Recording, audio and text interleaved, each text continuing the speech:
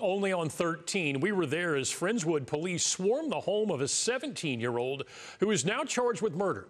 The arrest comes just one day after he posted his $1 million bond. ABC 13's Brooke Taylor was the only one there, and she joins us live with the latest. Brooke? Greg, some of the victims' family members have been posting on social media asking how someone who's accused of a violent crime is able to be home and spend Christmas with their family while another family is grieving. Now, 24 hours later, and Connor Hilton is charges have been upgraded, and we were there as officers surrounded his family's home and arrested him for murder.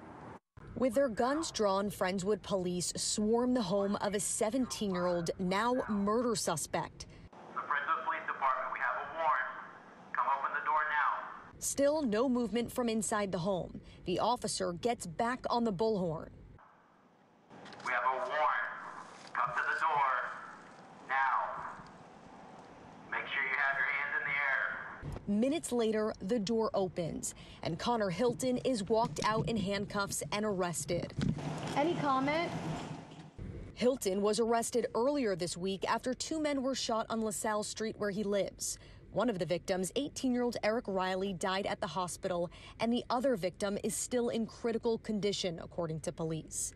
Hilton was originally charged with two counts of aggravated assault causing serious bodily injury. His bond was raised to $1 million, which he was able to post on Sunday, allowing him to spend Christmas with his family at home. That is until officers showed up at his front door with a new warrant. Hilton is now charged with murder. He was taken to the Friendswood City Jail before he's going to be transferred to the Galveston County Jail.